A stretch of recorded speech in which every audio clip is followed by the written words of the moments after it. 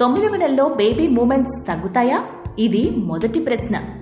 తొమ్మిదో నెలలోకి ఎంటర్ అయిన తర్వాత బేబీ మూమెంట్స్ తగ్గకూడదు. కానీ వాటి తీరు మారుతుంది. అంటే తొమ్మిదో నెలలో కూడా ప్రతి రెండు గంటలకు కనీసం పది మూమెంట్స్ అంతకంటే కొంచెం ఎక్కువ ఉండొచ్చు. ఒక్కోసారి ప్రత్యేక కారణాల వలన బేబీ మూమెంట్స్ కావలసిన మేరకు లేకపోవచ్చు. అందులో ఒక ముఖ్య కారణం ఉమ్మనీరు తగ్గడం. బేబీ మూమెంట్స్ ఇంతకు ముందు చెప్పిన టెన్ కౌంట్ లేకపోతే డాక్టర్ని సంప్రదించాలి. తొమ్మిదో నెలలో బేబీ మూమెంట్స్ ప్యాటర్న్ ఏదైనా ఉంటుందా?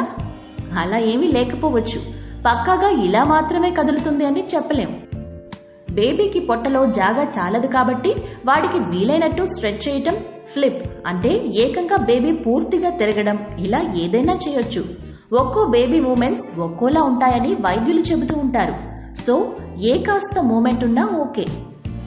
తొమ్మిదో నెలలో బేబీ మూమెంట్స్ని ఎప్పుడు కౌంట్ చేయాలి?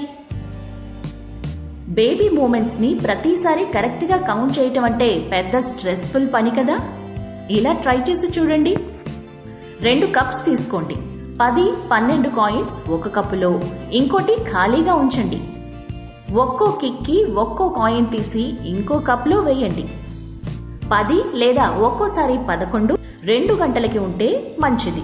కిక్స్ మాత్రమే కాదు ఫీటల్ మూమెంట్ మధ్య టైం చెక్ చేయాలి. అంతేకాదు ప్రతి మూమెంట్ స్ట్రెంగ్త్ అంటే కిక్ ఎంత స్ట్రాంగ్గా ఉందో నోట్ చేయండి. ఇలా ప్రతి పది కిక్స్కి మధ్య టైం అలాగే వాటి ఇంటెన్సిటీ నోట్ చేయాలి. వీటితో పాటు ఎక్కువ మూమెంట్స్ ఏ టైంలో ఉంటాయన్నది కూడా తెలుసుకోవాలి. వాక్ చేస్తున్నప్పుడు తిన్న తర్వాత నిద్రపోయి లేచాక భోజనానికి ముందు టాయిలెట్కి వెళ్ళినప్పుడు. ఇలా ఏదైనా కావచ్చు. మరీ ఎక్కువ మూమెంట్స్ లేదా తక్కువ ఉంటే వైద్య సహాయం తప్పనిసరి. అంతేకాదు మూమెంట్స్తో పాటు బ్లీడింగ్ పొట్టలో నొప్పి ఉంటే వైద్య సహాయం తప్పనిసరి. ఇర్రెగ్యులర్ మూమెంట్స్ అలాగే స్లో అయిన మూమెంట్స్ ఉంటే వైద్య సహాయం తప్పనిసరి.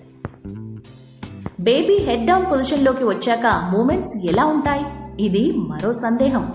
ముప్పై రెండు నుండి ముప్పై ఆరు వారాల మధ్య అత్యధిక శాతం బేబీస్ హెడ్ డౌన్ పొజిషన్కి వచ్చేస్తారు. అంటే ఇక ఫిక్స్ అన్నమాట. దీనినే హెడ్ ఎంగేజ్ కావడం అంటారు. ఇలాంటప్పుడు పాపం బేబీకి ఎక్కువగా పల్టీ కొట్టి తిరిగే అవకాశం ఉండదు. కానీ మూమెంట్స్ ఉంటాయి. ఇప్పుడు కూడా అదే రెండు గంటలు పది కిక్ సూత్రం వర్తిస్తుంది. బేబీ ఒక్కోసారి కదలకుండా టెన్షన్ పెడుతుంది. అప్పుడేం చేయాలి? రెగ్యులర్గా ఒక ప్యాటర్న్లో కదిలే బేబీస్ టైంకి కదలకపోతే టెన్షన్ కదా?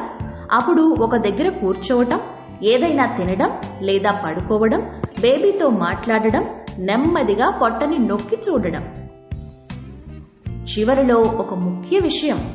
లేబర్లోకి వెళ్ళే ముందు మూమెంట్స్ తగ్గే అవకాశం ఉంది.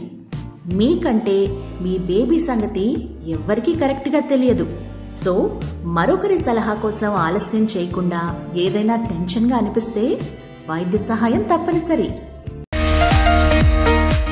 ప్రెగ్నెన్సీపై ఏ టు జెడ్ ఇన్ఫర్మేషన్ కోసం pregnancy and child care exclusive channel HMB లివ్ని subscribe చేసి పక్కనే ఉన్న బెల్ సింబల్ని ప్రెస్ చేయండి. So that you don't miss any of our videos.